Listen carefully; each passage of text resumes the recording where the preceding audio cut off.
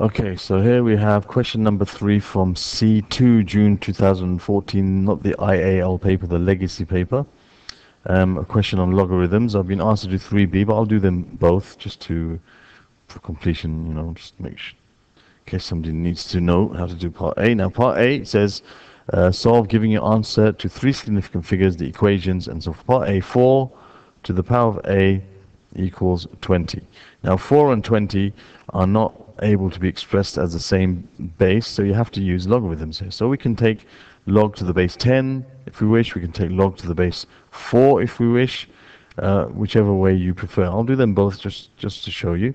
So for example, if I take log to the base 10 of both sides, I'll have log to the base 10, which I don't have to write, of 4 to the power of a equals log to the base 10 of 20. Now I can use the power law to say that a times log to the base 10 of 4 equals log to the base 10 of 20. So therefore a is going to be log to the base 10 of 20 over log to the base 10 of 4. Okay, which I can then write the answer for. Okay, so you're going to have log to the base 10, let's move out of the way, log to the base 10 of 20 divided by log to the base 10 of 4. And the answer will be 2.161. 2.161, 2.161, continue on. So it's going to be to three significant figures, 2.16. Okay, there's the answer to three significant figures as they asked. Okay, um, as I said, the, the other method is you can start off with 4 to the power of a equals um, 20. What I can do is I can find log to the base 4. So I can say log to the base 4 of 4 to the power of a equals log to the base 4 of 20. Alright, the benefit of this is when you get a times log to the base 4 of 4 equals log to the base 4 of 20. Now log to the base of a number to its itself will always be 1 because this means 4 to the power of something equals 4. Well, 4 to the power of 1 equals 4. So you can just replace this, just get rid of the log to the base 4 to four, log to the base 4 of 4, and there will be a on this side, and you'll end up with log to the base 4 of 20. I mean, I put these steps here, which I don't really need to. I can go straight from here to this. I can go straight from here to here if I want to, and that's perfectly fine. Okay, that's just for explanation purposes for you. So now all I need to do is put log to the base 4 of 20, and it should give me exactly the same answer. Okay, so log to the base 4 and 20. And it gives me 2.1609. 2.161, which is 3SF 2.16. Okay, so just uh, show do two different ways of doing the same question. Okay, there's no problem whether you use either one. Now part B. Okay, let me take the question and, and put it down there so that I can see what's going on. So take this and put it, oops, and put it down here.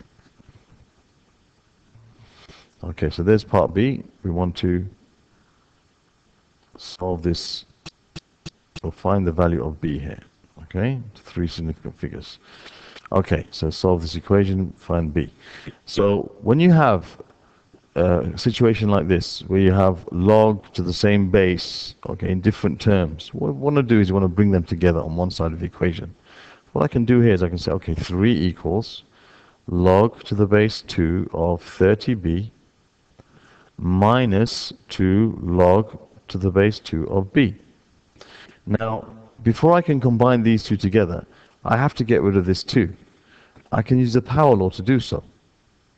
So I can say log to the base 2 of 30b minus log to the base 2 of b squared.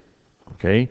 Now, once I've got log to the base 2 of something minus log to the base 2 of something, I've got rid of anything else that's multiplying it by using the power law. Then I can combine these together. Now, if they're subtracted, you're going to use the division law. So I'll have log to the base 2, I've got 3 on this side, log to the base 2, and I can say this is like 30b divided by b squared. Okay, as long as they're the same base, you can combine them together. Okay, so now I can say I can use um, what this actually means. Remember, log to the base a of b equals c actually can be written as a to the power of c equals b. This is the base, this is the power, this is the result. So here we have the base, which is 2. This is the power cubed, is equal to 30b over b squared. So what we can do now is we can solve this equation. Make some more space. I can solve this equation.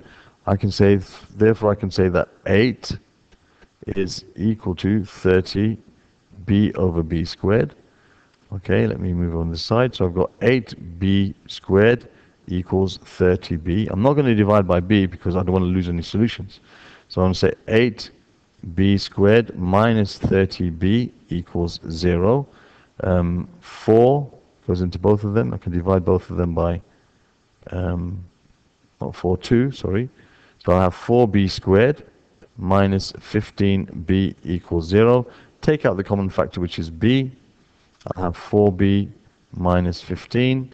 So we can equal 0. So either, either b is equal to 0, either b is equal to 0, or 4b is equal to 15, in which case b is equal to 15 over 4. Okay, now let's see if b equals 0 can possibly be an answer. Okay, uh, it can't be an answer because you cannot have log to the log of 0. Okay, the log of 0 does not, the log of 0, actually it does, log of 0 is 1, isn't it? The log of something, um, let's, let's just check that log of 0. So there's 10 of 0. It doesn't exist yet. The log to the base 0 doesn't exist. Okay? The log, the log of 0 doesn't exist. Okay? The log of 0 does not exist. Okay? X cannot be 0. Alright? When you have x equals 0, it never actually touches that. That's right. So the log, okay, if you have log to the base anything of 0, it's undefined. Okay? Because the, the, the log curve actually looks like this. It's the inverse of the exponential curve. So it looks like this. Okay? So therefore it is something where you cannot have log of 0. Alright, so I can't have b equals 0. So my answer is b equals 15 over 4. Okay, there is the answer to this question. Okay, we can't have both answers there. So there we are. That's question number 3 done. I hope that was clear.